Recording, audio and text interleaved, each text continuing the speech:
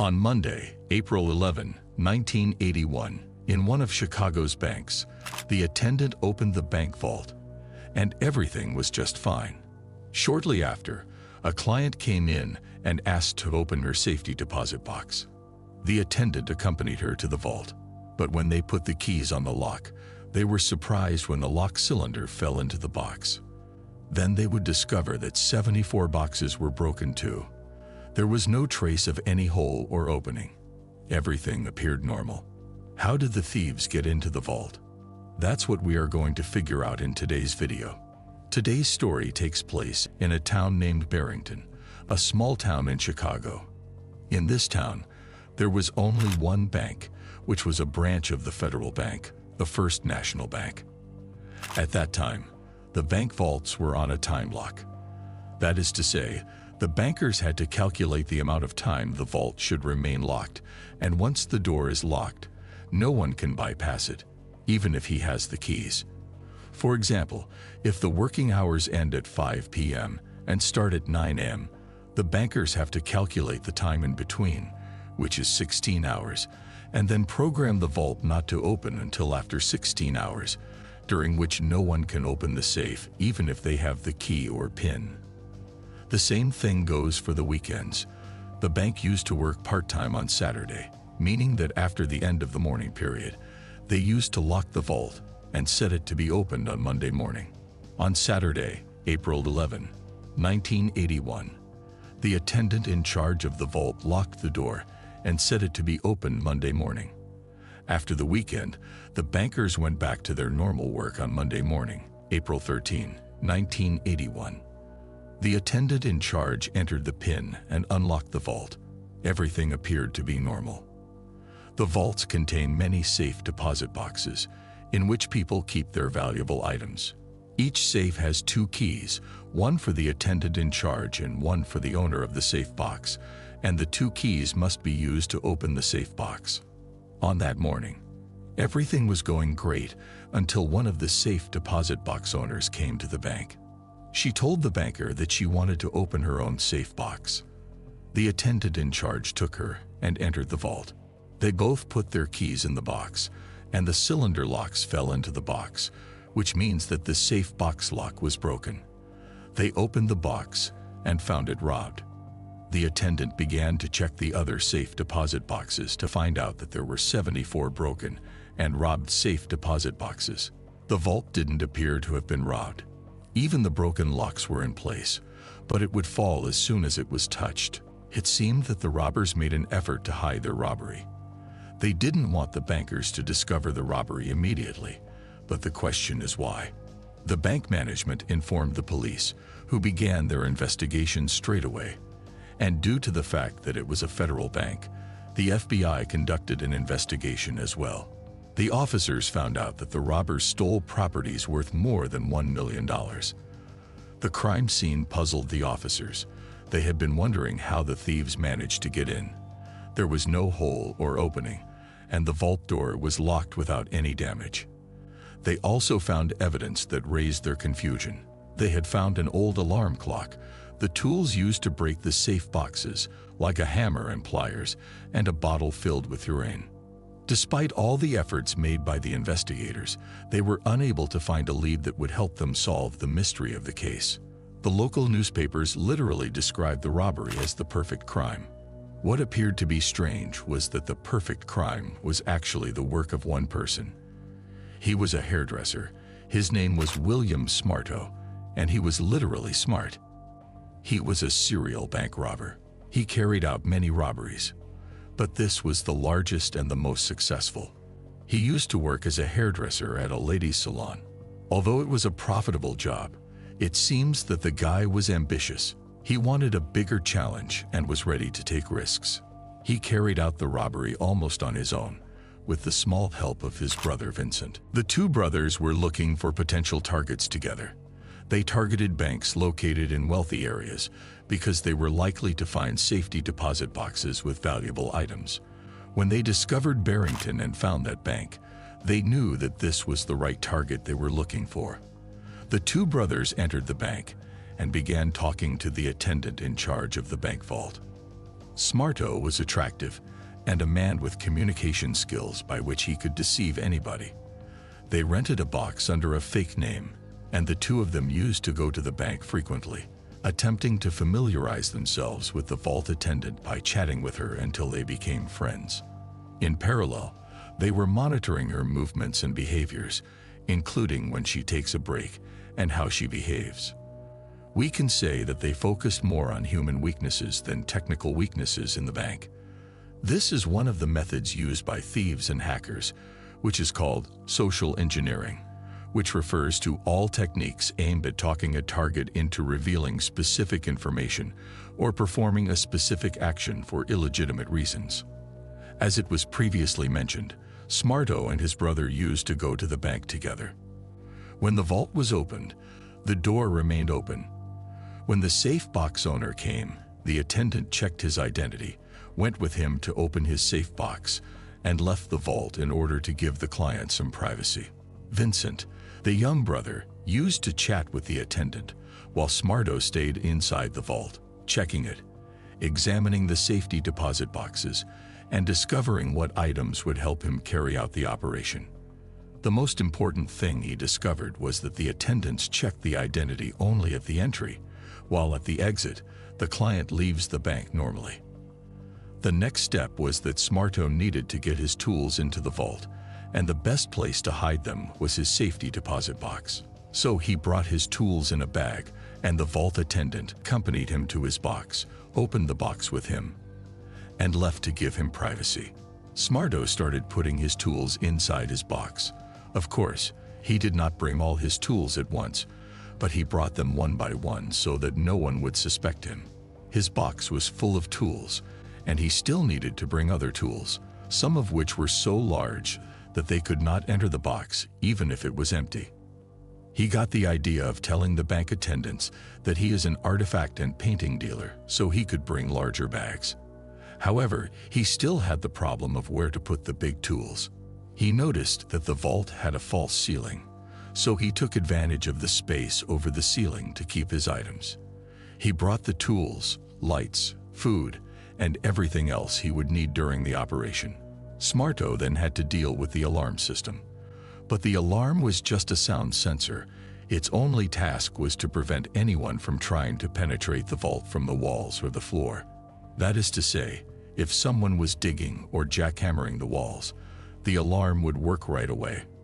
Although Smarto wasn't intended to get into the vault through walls, floors, or even the ceiling, he had to get rid of the alarm system so that he could break the safe box locks. Fortunately for him, the alarm system wasn't sophisticated, and he was experienced enough in electronics to disable the alarm. All he had to do was damage the sound accumulator to make the alarm useless. Smarto was still afraid of the possibility of the existence of other hidden alarms in the vault, and to make sure that he disabled all the alarms, he put an alarm clock on the ceiling and set it to ring at night by the time the bank was closed. If there were other sound sensors, they would work immediately after the alarm rang, and the police would show up. Smarto kept monitoring the bank to see if the police would come. Indeed, the police arrived to check the bank, and they left when they found nothing suspicious. At that time, Smarto realized that there were other alarms in the vault. During the days after, he looked for the remaining alarms and managed to disable them all. He made the same test for the second time. He put the alarm clock on the ceiling and set it to ring at night, and he went out of the bank. This time, the police didn't show up, so he was sure that all the alarms were disabled. And here comes the toughest part of the whole plan. How would he break in? On Saturday, April 11, 1981, Smarto went to the bank as usual, talked to the vault attendant, and went together to the vault. The attendant opened the box alongside him and left to give him privacy, while his brother, who was there too, was talking to the attendant, trying to distract her. He was even flirting with her. At that moment, Smarto, who was inside the vault, vanished. This is when his true genius was displayed. Smarto didn't choose this bank randomly. They specifically chose the Barrington Bank because of the empty space in the corner that is made when two rows of safety deposit boxes come together, making a dead spot. When the attendant left him alone inside the vault, Smarto climbed up on the safety deposit box row and slid down to the corner where he would keep hiding, while the attendant was still busy with his brother Vincent, who was distracting her. As it is mentioned before, the client's identities are only checked at the entry. As a result, the attendant didn't pay attention to Smarto, which was still inside the vault. At the end of the day, she closed it, set it to the time lock, and went for her weekend holiday. Smarto, after it was confirmed that the work was over and everyone had left the bank, he climbed out of the corner, turned on his flashlights, and got out all the tools he needed. It was time to break the locks. This was a very sensitive step. He brought with him stove bolts that were modified and cut to the diameter of the cylinder locks so the hit would line up perfectly in order not to damage the box. He wanted everything to look normal. This way, Smarto kept breaking the locks without damaging their shapes, taking the money and all the valuable items. The process was a bit tiring. Breaking tens of locks in a dark place wasn't easy, so Smarto used to take breaks, eat, and drink to get the energy to resume the work. The fact that the next day was Sunday helped him a lot. He took his time working on the locks. Smarto saw himself as Robin Hood. He steals from the rich and gives to the poor. Depending on the content of the safety boxes, he was able to know who was poor and had debts because some people kept their documents there. So he took some valuable things from other boxes that seemed to belong to rich people and put them inside the boxes of the people he believed were poor. Smarto kept cleaning up the place of anything that might have fallen on the ground. He placed back all the boxes and put back all the lock cylinders. He kept checking the boxes several times to make sure that everything appeared normal. If someone entered the vault, he would see that everything is just fine. The boxes and locks are in place, and nothing is broken or damaged. But if he tried to open a box, the lock cylinder would immediately fall out. Smarto was ready and prepared for everything. He put his tools back above the false ceiling, put the loot inside the bags, and climbed back to hide in that small square at the corner.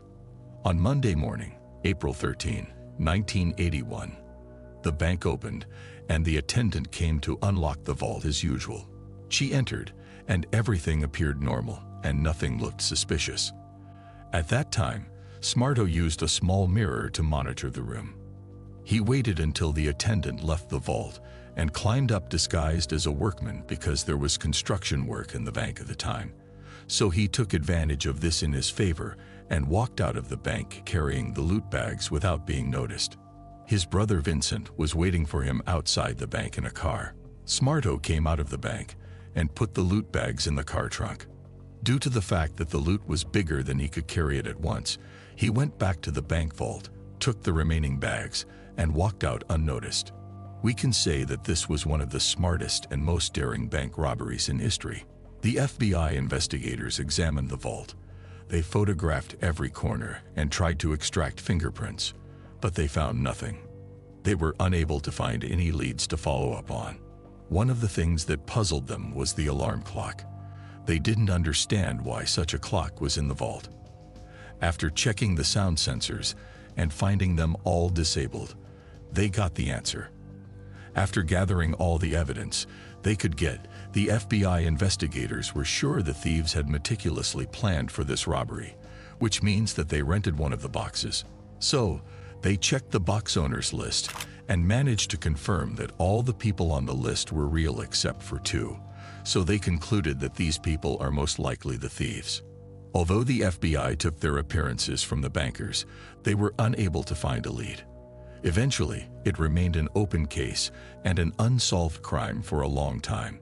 A year passed without any updates, but after that year, an incident happened in another town and in another bank, but in Chicago as well. One of those bank clients entered the restroom of the bank, and suddenly a piece of the false ceiling fell down on his head. The client looked up and felt like there was something moving above the ceiling. He went to inform the bank security, and the latter came and brought a ladder. He climbed up with his flashlight and saw a leg moving up there so he got scared and immediately informed the police. The police arrived and ordered the guy to get down. It was William Smarto. He was above the false ceiling of the restroom because it was next to the bank vault, which apparently was his new target. The police examined the false ceiling space where he was hiding and found tools that are similar to the ones used in the Barrington Bank robbery. The police investigated Smarto, and it turned out that he was a lot more than just a hairdresser. The FBI checked many robberies that might be similar to this one and discovered that there was another robbery that took place one month and a half ago in another town in Chicago. The report of this robbery attempt claimed that there was a man disguised as a workman digging in the bank vault wall, using a drill when a janitor interrupted him. Asking what he was doing, Smarto looked him right in the eye and told him, When I'm done, clean this up, please. Apparently, the janitor believed him. Afterward, Smarto took his tools and vanished immediately. This clearly shows Smarto's personality and how confident he is. Smarto stole more than a million dollars, but why steal again? Is he so greedy? When they asked him why he stole more than one bank, he said he liked the challenge and excitement he gets when robbing, as if playing a game. This is shown, for example, when he was moving valuables to the boxes of people he thought were poor. Smarto's personality was distinctive, not like the rest of the thieves. In the same bank where Smarto was digging the wall, the police discovered an alarm clock above the false ceiling, and the janitor confirmed that he was the man digging the wall. Smarto was then accused of the first robbery, despite the lack of evidence. Everything looked similar. The alarm, the tools, the use of the false ceiling, and even the way. The intelligence in the theft carried out by Smarto made it distinct from any other theft, which turned against him. It became easy to distinguish his operations. Smarto kept denying that he had anything to do with the first robbery, but the judge found him guilty and gave him a 20-year prison sentence. However, the judge told him that his sentence would be reduced if he returned the stolen items. At that time, Smarto was still claiming he was innocent, but when he was sentenced to 20 years, he decided to admit it. Smarto was keeping his loot in a bag that was apparently underwater, maybe in a lake or river. Because when the lawyer brought it to court, it was wet and smelled very bad. When they opened the bag, they found most of the money and jewelry stolen from Barrington Bank. Smarto returned the loot, and the judge kept his word. His sentence was reduced from 20 years to 8 years. But the reduction was subject to a condition. Smarto should inform the FBI how he carried out his operations and tell them about all the details.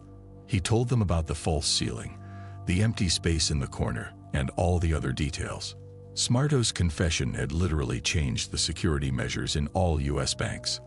They stopped using false ceilings in bank vaults, and all the dead corners have been eliminated.